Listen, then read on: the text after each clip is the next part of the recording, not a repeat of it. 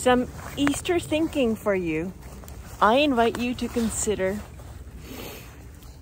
that spirituality and science are two sides of the same coin. So spirituality is on one side, science is on the other side. And they cohabitate together all the time. And that's the very reason they exist.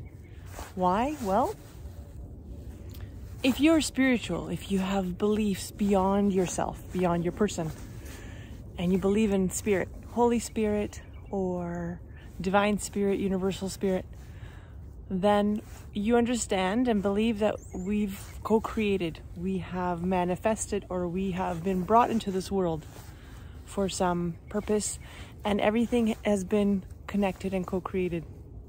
So we created science, therefore, it exists and is necessary for our learning path.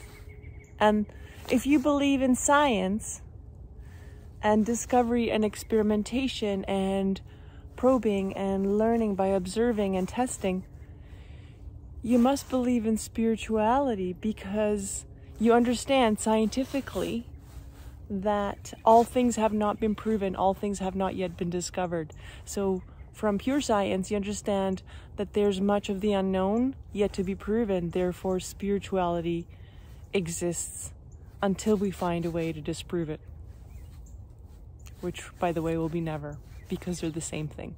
So spirituality and science cohabitate together.